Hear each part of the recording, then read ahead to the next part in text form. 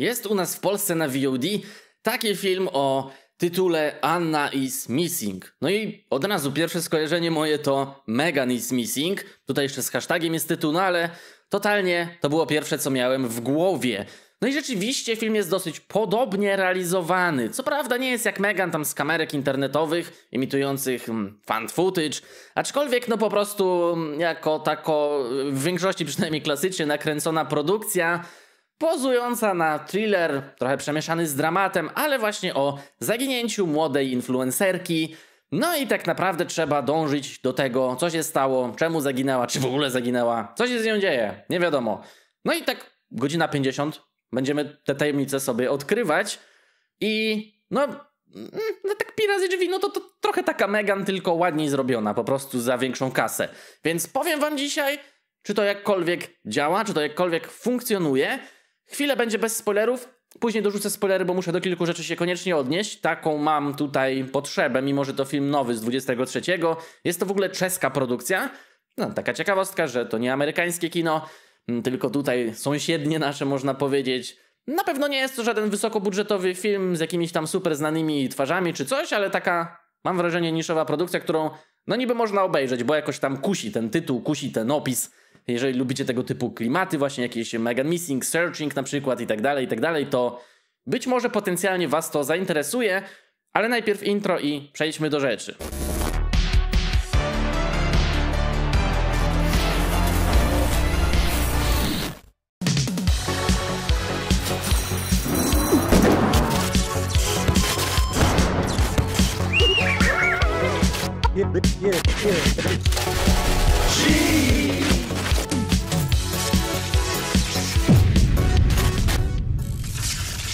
Dobra, ja od samego początku już e, muszę kluczowy wniosek podać, że dla mnie Anna is Missing to jest po prostu banalny, ale wręcz tak do bólu film, który czekałem aż chociaż ciutkę mnie zaskoczy, chociaż da zalążek tego, że to o czym ja myślę, to to nie to. To, że to nie jest rozwiązanie filmu, że to nie jest tak proste, że to nie może być tak łatwe, prawda? Dacie jakiś twist, co nie? Bo to jest tego typu film, że jeżeli czekasz ponad półtorej godziny na rozwiązanie zagadki, to liczysz, że ty nie znasz rozwiązania w piątej minucie. Bo ja oczywiście rozumiem, że niektóre filmy mogą być przewidywalne, bo też nie tego od nich oczekujemy, żeby były tam jakieś zagadki niesamowite i żebyśmy analizowali i łączyli tropy. Ale w thrillerze, gdzie ktoś zaginął, gdzie kogoś szukamy, gdzie tymi tropami bawić się mamy jednak, oczekuję. A tutaj jest tak, mam wrażenie, napisane w tej fabule coś A, to A się toczy i później jest tylko B, a nie ma po drodze C, D, E, F łączenia kropek. To znaczy próbują coś tam łączyć, ale ja od początku wiem o co chodzi. I tak godzina 50. To znaczy to rozwiązanie to podają trochę wcześniej, bo tam mniej więcej półtora godziny filmu, nawet trochę szybciej, to o którym myślałem, na które wpadłem od razu, a później jeszcze tam jakieś odgałęzienia wątków się że tak powiem, dopinają, ale to też nie do końca, bo ten film zostawia tyle tak naprawdę jednak nierozwiązanych y, rzeczy, że z drugiej strony właśnie, jak na smarowanie tego banału przez taki metraż, to później tyle zostaje niedopowiedzeń, że jestem w szoku, jak można było to tak ogarnąć. Bo albo już zróbmy w pełni banalny film, ale niech on sobie podomyka te ważne wątki, albo róbmy zawiły film, który zostawia niedopowiedzi na pomyślunek, okej. Okay. A tutaj to są takie rzeczy, które no dobra, gdzieś tam potencjalnie wiemy, co się pewnie dalej wydarzy, ale jednak ja chciałem, żeby mi pokazali, bo skoro to jest tak prosty film, to już mi pokażcie, o, z tym to się stało, z tym to, ten ma takie konsekwencje, ten strakie, owakie. Nie.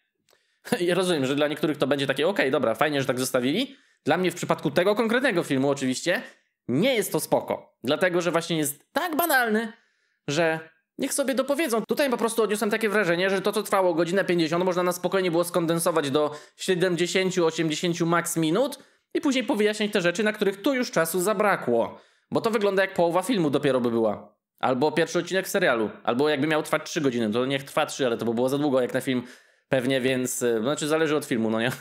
ale w tym wypadku za długo, więc no po prostu uważam, że ten scenariusz to jest prostota, a to nie jest żaden debiut pełnometrażowy czy coś. Ten gościu reżyser ma pełno produkcji na koncie. Scenarzystą jest ktoś inny, to tam jego nie, nie spoglądałem. Może on ma mniej, może też podobnie, ale no jasne, że reżyser tutaj mógł sobie powybierać e, różne rozwiązania też. Także tak bym podsumował ten film bezspoilerowo. Ale bywa nieźle zagrany. bywa, że interesuje ta historia, chociaż trochę się ciągnie, ale jednak coś tam nas interesuje, bo tak naprawdę tą naszą ważną, najważniejszą prawie, że bohaterką jest Anna. Anna ma dopiero 14 lat, to znaczy chyba już 15, ale przed chwilą miała 14, no i ona jest influencerką już.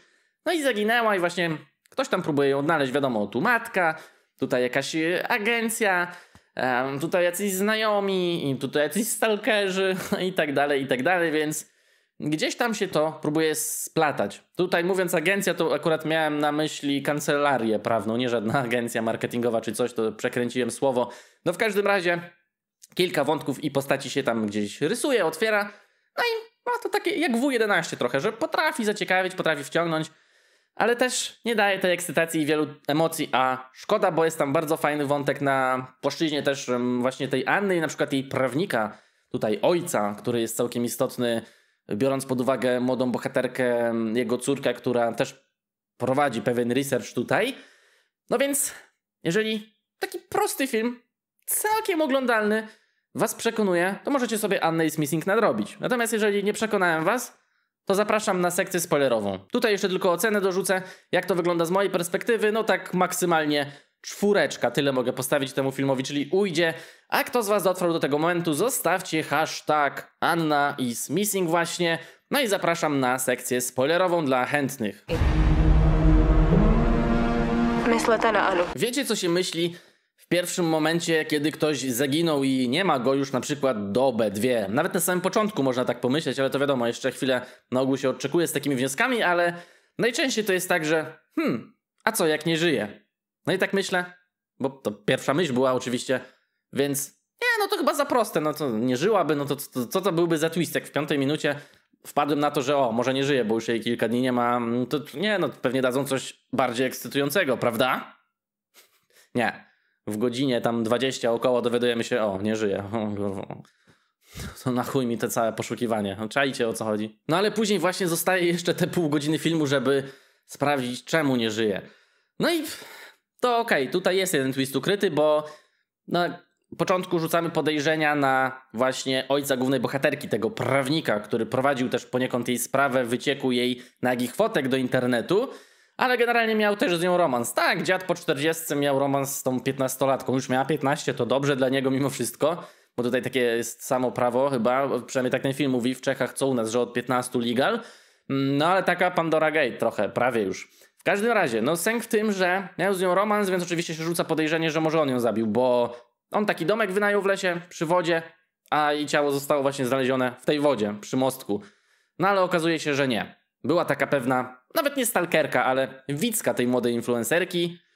I ta influencerka, oprócz różnych rzeczy, którymi się zajmowała, to między innymi też tropiła takich pedoberów. To coś jak akcja stonogi, że no, piszesz sobie na jakimś komunikatorze, wyłapujesz gagatka i go na policję. Tylko, że ona y, wrzucała profile tych ludzi na Instagram, czyli wyłapała jakiegoś typa po 40, powiedzmy, czy koło 50, który chciał tam z nią coś cimci rymcim przez internety tak sugerował a ona na przykład miała wtedy 14 lat, umieszczała takiego delikwenta na jakimś Instagramie, jego zdjęcie, jego opis, gdzie pracuje i tak dalej. No i gość miał trochę zniszczone życie. I no, można się teraz kłócić, jak to moralnie wygląda, czy słusznie, czy nie, ale to nie o to mi tutaj w ogóle chodzi. Tylko sęk w tym, że on miał rodzinę, no jak większość z tych typów, i jego córka bardzo też oberwała rykoszetem, bo wiadomo, to się nie tylko wtedy ciśnie po takim typie, tylko też po całej rodzinie, że o, twój stary to PDF i tak dalej, i tak dalej. No i ta córka jest tą, która zabiła tą naszą Annę i Smithing. Znaczy tak, tak ten film podaje, ale nie do końca, nie w 100% to mówi, ale wydaje mi się, że to z tego wyniknęło. Sęk w tym, że romans był, ale jak już nasz y, tutaj ojczulek się ogarnął i powiedział w końcu młodej swojej kochance, że nie, słuchaj, mam żonę, rodzinę, już nie chcę dłużej tego ciągnąć, e, ale domek jeszcze był wynajęty, no ale dobra, zostawmy ten domek. No to po prostu ona się wkurzyła, no ale on odjechał. Nic jej nie zrobił. I wtedy przyszła ta jej stalkerka, która powiedziała, że o, przez ciebie mój ojciec został oskarżony i to niesłusznie według niej, bo ja mu nie wierzę, w sensie, że córka mu nie wierzy. Nie wiadomo, czy coś zrobił, czy nie zrobił złego, ale generalnie został wystawiony na publiczny lincz, no i ta córka ma też przez to zrąbane życie. No i się tam poszarpały i niby tą Annę ona, znaczy walnęła ją raz jest pokazane, ale z tego co też widzimy po śladach, chyba ją zaciągnęła do tej wody i tam tą nieprzytomną właśnie Annę zostawiła w tejże wodzie. Tak interpretuję, bo to nie jest do końca pokazane, że to ona ją wciąga do wody. Jest pokazane, że ją uderza, ale wcale nie traci Anna przytomności, tylko tam ta e, Wicka ją nagrywa i każe jej przeprosić. I tak to nas ten film z tym zostawia. Więc. No ale tam chyba nie było nikogo innego już, kto by jeszcze ją dobił. Czyli wychodzi na to, że w niedopowiedzeniu mamy sobie do wyobrazić, że tak powiem, że okej, najpierw dostała lepę i nagrywać miała przeprosiny. Była zakrwawiona. A, to co się wydarzyło poza kamerą, w głowie już widzę, to ma być, że dostała później jeszcze raz w łeb, straciła przytomność i ta młoda laska przeciągnęła drugą, tą młodą laskę Annę do wody i tam ta się utopiła na skutek stracenia przytomności chyba. Czyli dała się zaatakować znowu, dała się onieprzytomnić aż. To też jest takie dziwne, bo tam jeszcze w pierwszej scenie pokazują, że już e, dostała lepę, że już jest zakrawiona, ale nadal nie wiemy o co Kaman. I ta ostatnia scena też nie wyjaśnia, tylko mówię, to są domysły, ale to aż tak bardzo duże domysły na takim ważnym szczeblu fabularnym trochę dziwne. No ale dobra, mówię, ten film jest taki nijaki, że ach, no i tak się skończyło. Więc nie wiemy co z prawnikiem, z tym ojcem, nie wiemy co z jego rodziną, chociaż jakieś poszlaki są, że no, żona w sumie chce dalej z nim być i trochę tak to olała, ale wiadomo, że tam już kwas jest w rodzinie i dzieci też jak na to patrzą, że o stary, co ty odjebałeś. No ten prawnik pewnie jakieś tam konsekwencje będzie miał, ale w sumie legalnie to było, więc tylko muszą się jakoś teraz wykaraskać jako kancelaria prawna z tego. No i tyle, no i konsekwencje. Tutaj też ta młoda główna bohaterka będzie miała wiadomo, bo jej ojciec jest oskarżany o takie rzeczy, a nie inne. No ten romans, no i to z 15-latką, więc wiadomo, że krzywo na to się patrzy. Tylko, że ojciec jeszcze dostał później w pierdziel od randomowej grupy, która go zaczepiła gdzieś tam na mieście, więc teraz trafił do szpitala i córka, która była na niego właśnie cięta i sceptycznie patrzyła, no bo ej, stary, co zrobiłeś? To teraz poszła do niego do szpitala i go ho, przytula, bo tatuś pobity. Czyli jednak jej serce troszkę pękło i się skruszyło. No i tak to nas zostawia z tymi sobie niedopowiedzeniami, że o, może w rodzinie się polepszy, może będą próbowali jakoś żyć lepiej i tak dalej, i tak dalej. A jeżeli chodzi o główną sprawę Anny i Smithing, to po prostu dead. Czyli nie ma nic ciekawszego w tym. Nie ma żadnego twistu, że tam wiecie, trzymają ktoś w szopie, zakopał w beczce jak w Megan is Missing. No i Szkoda, bo tam naprawdę brakowało czegoś więcej, a nie takiego typowego rozwiązania. No trudno, tak było. Kto z Was dotrwał do tego momentu, zostawcie hashtag lubię spoilery, tak będzie dzisiaj. No i w sumie tyle. Żegnam się z wami, dajcie znać, czy oglądaliście, bo może tam parę osób widziało, jak się ten film wam podobał, bądź nie podobał, a dla tych, co tylko posłuchali, to dajcie znać, co sądzicie o tym materiale po prostu. Tak ogólnie z mojej opowieści o tym filmie to ciężko pewnie powiedzieć, bo wiadomo, brakuje tu wielu informacji, ale może coś tam wam się uda od siebie dorzucić. Widzimy się w kolejnych, do zobaczenia, trzymajcie się. Generalnie ja filmu nie polecam. Toho, kdo fotil ty fotky. Myslete na Anu.